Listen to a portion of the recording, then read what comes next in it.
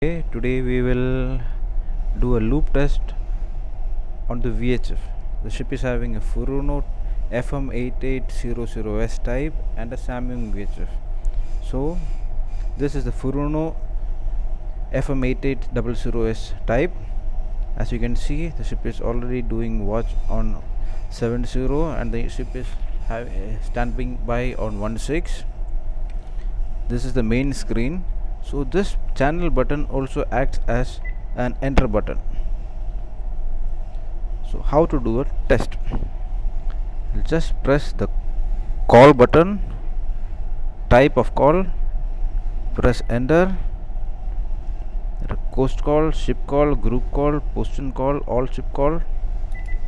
I'll just press the ship call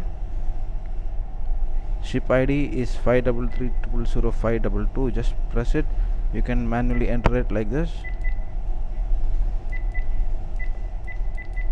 And press the enter button. This is enter button. Then it's a routine call. You cannot change it. And which channel I have to work with?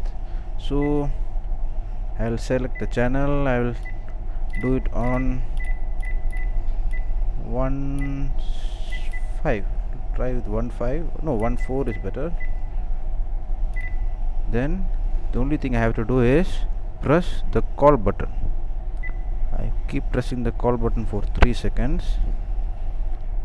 The call has gone. You can hear the sound coming from the next VHF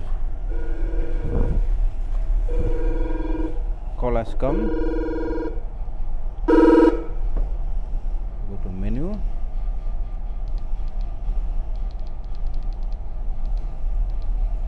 others acknowledge and uh,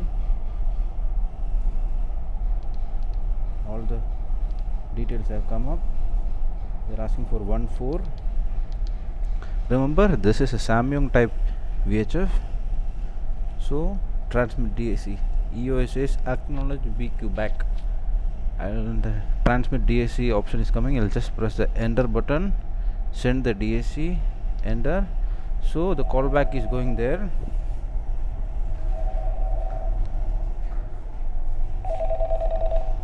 Just press it. It's already on 1 4 same way the other VHF will be coming to 1 4 so both the VHF are in working channel 1 4